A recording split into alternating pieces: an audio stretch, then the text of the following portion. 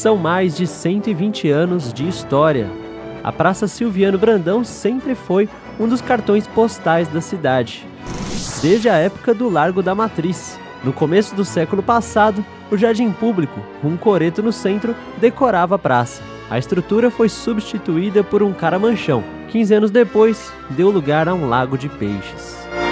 Esse ponto aqui foi o principal da praça durante muitos anos. Aqui esteve construído o primeiro coreto, depois o caramanchão e por último o lago de peixes. Só que em 1986 toda essa história foi coberta por esse calçamento. A estrutura do lago continua aqui embaixo.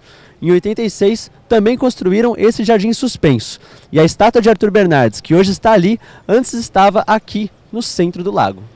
Além da estrutura da praça, algumas construções ao redor dela também mudaram com o passar dos anos. A Casa Arthur Bernardes foi construída em 1925.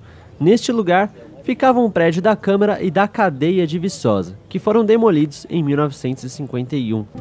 Dona Dília acompanhou de perto mais da metade dessa história.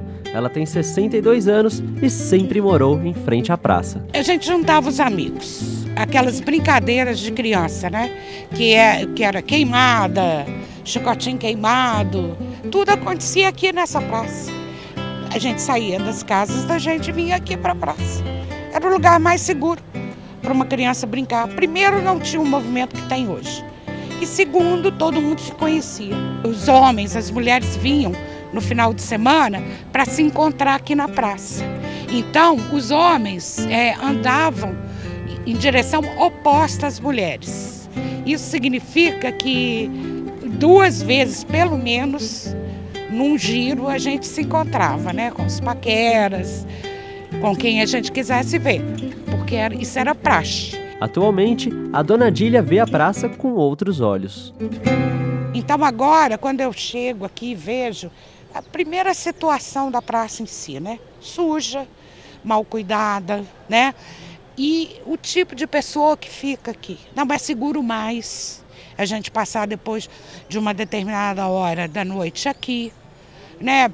Vários é, pessoas usuárias de drogas ficam aqui nessa praça né? Então, agora se tornou um, um local desagradável. Você não pode sentar aqui mais e conversar com uma pessoa que você conhece. A praça passou por muitas transformações ao longo do tempo. O Zé Mário estuda a história da praça. E a última grande reforma, há mais de 30 anos, mudou muito a paisagem. Estava prevista aqui uma construção de uma arena, de, um, uma concha acústica, de um lago, de um espelho d'água aqui ao lado da estátua do, do, presidente Bernardes. O projeto não foi concluído. E o maior erro foi a retirada das antigas árvores. Né? Foi uma coisa arbitrária, uma coisa absurda. Né? Faltou verba na época e desagradou 100% da população. A atual praça hoje também tem um coreto ou pelo menos o que sobrou dele. Ele era um coreto, inicialmente ele foi feito todo de alvenaria, mas é, não tinha visão dos próprios músicos. Né? O, pro, o, projeto então depois fizeram uma gradezinha, mas acabou sendo ocupado com outras finalidades, o pessoal catador de papelão, o pessoal dormia lá, virou hospedagem de pessoas, de ambulantes, de, de, né, de moradores de rua. E a administração anterior, é, municipal, resolveu demolir justamente para evitar ficou ficando só o arco ali. Um projeto de uma nova reforma ainda não saiu do papel. E mesmo com os problemas, a Praça Silviano Brandão continua sendo importante para a cidade e faz parte das boas lembranças da Dona Dília e de muitos viçosenses.